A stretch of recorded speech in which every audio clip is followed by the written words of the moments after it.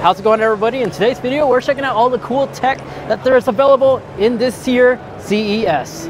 And believe me, there was a lot that I couldn't fit in in this video, but I'm gonna go ahead and show you the ones that stood out the most. For instance, this company by Gentex is creating a bunch of unique concepts on certain things. One example is the lack of side view mirrors. They are fitting retro mods on existing vehicles to eliminate side mirrors and replace them with visible cameras you can see right here. But my most favorite one is the lack of sun visors as these sun visors are swapped with these transparent sun visors that are able to be adjusted to block out as much sun as possible. There is a 10 second delay for it to actually kick in, but once you see it in real life, I can see this being functional, especially for very tall people. Now this is a new EV company that unveiled their electric pickup truck and this is from VinFast and this is their wild electric pickup truck. Right now it's all a concept but it was pretty interesting seeing it in person.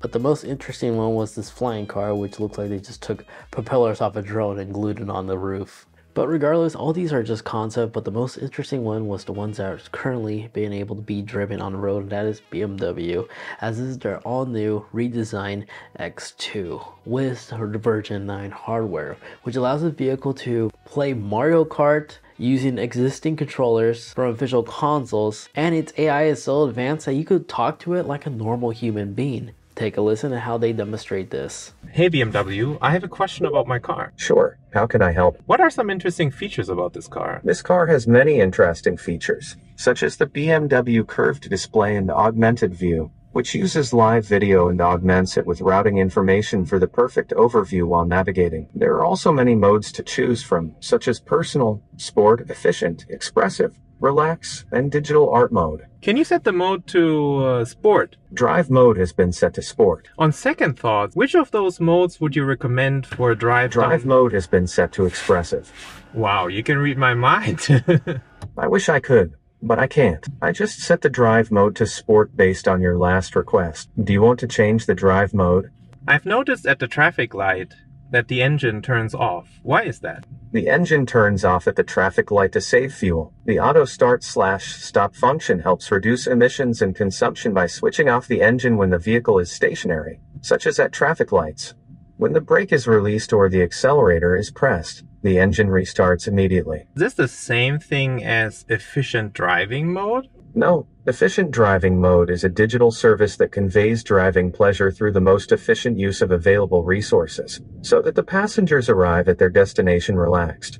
So you should get the concept by now. It basically just allows you to speak to your car like a normal human being, and it'll respond as if you're talking to a, a tech technician from BMW themselves to answer any questions you may have.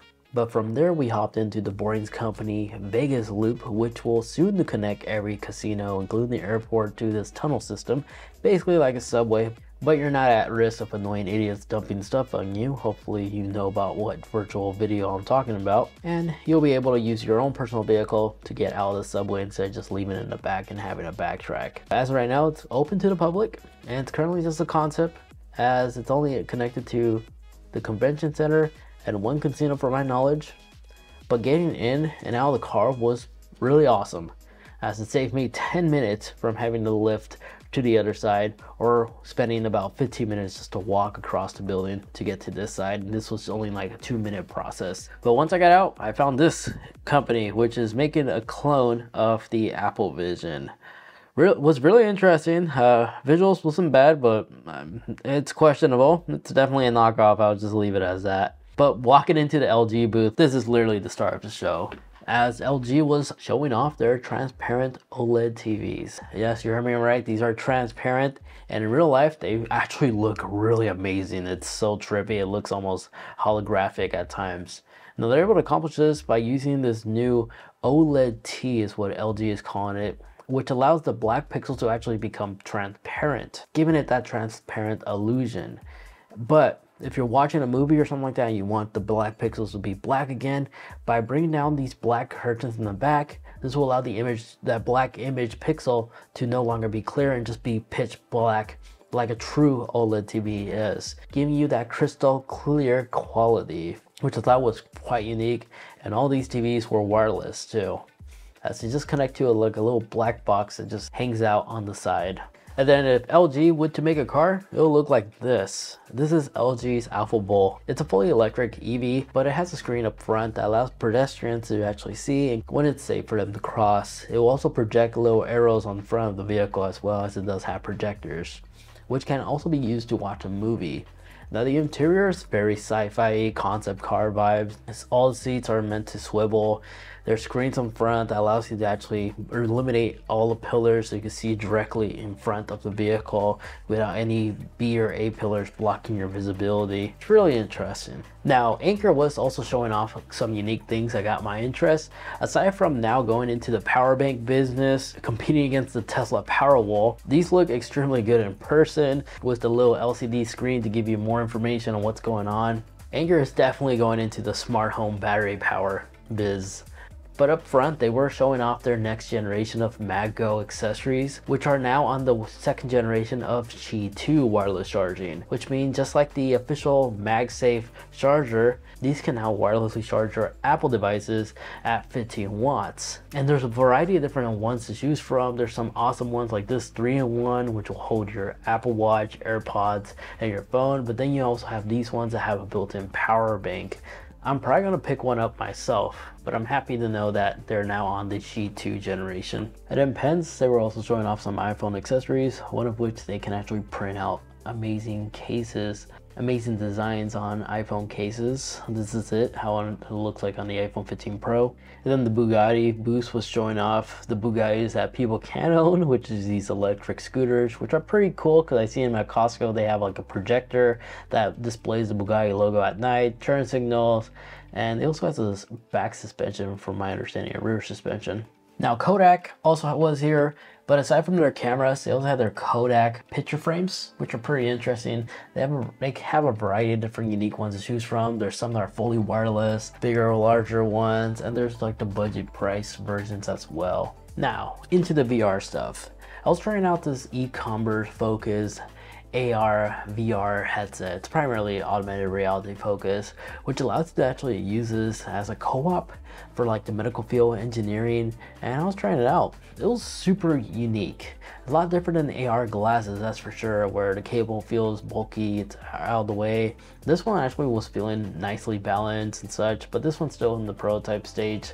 And uh, since this is an e-commerce product, it's gonna be on the pricey side but consumers can purchase this if they really need something like this. But I was actually genuinely surprised how lightweight it was and it, it felt like I was just wearing a common hat, honestly.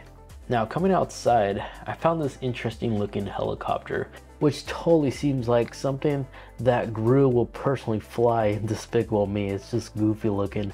But this company specializes in electric motors and one example that they recently have on display was this funny looking helicopter.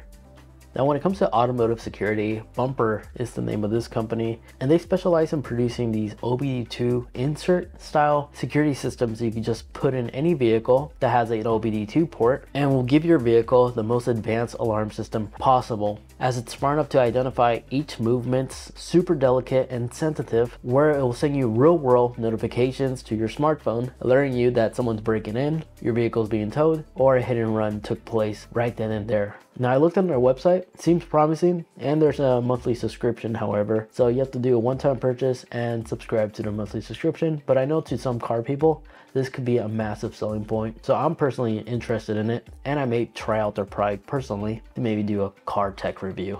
Now this final one is my personal favorite and this is car tech that's coming out in the near future. Remember how backup cameras used to be like a luxury option but now it's standard for new manufacturers thanks to the NHTSA for making this into the standard for all new vehicles? Well now there's a new thing that's coming out and will become standard and that is thermal imaging. Now Owl Autonomous Imaging is one of the companies that's on top of this and producing this impressive hardware where OEMs can easily just integrate this on upcoming vehicles once it's become approved and will become the new vehicle standards, which will allow the vehicle safety system to automatically brake when necessary before colliding into objects, humans, or animals. And this should prevent front-end collisions, especially when driving in terrible environments like fog or blizzards. Because as I demonstrate in this booth, RGB cameras have a hard time identifying subjects in these type of hard environments. Meanwhile, with thermal imaging, it could bypass this and still be identifying things just off of body temperature. Now, Owl Autonomous Imaging, they have the hardware down and everything. Super simple as everything is literally all compact and just connects off a single circuit board with a single cable. So very soon we'll be able to see this in future vehicles. So now, gone are our day where thermal imaging is a luxury option and now will become the new standard and I'm definitely looking forward to it. And there you guys have it. Those are all the cool things I was able to find this year in CES. Thank you guys so much for watching.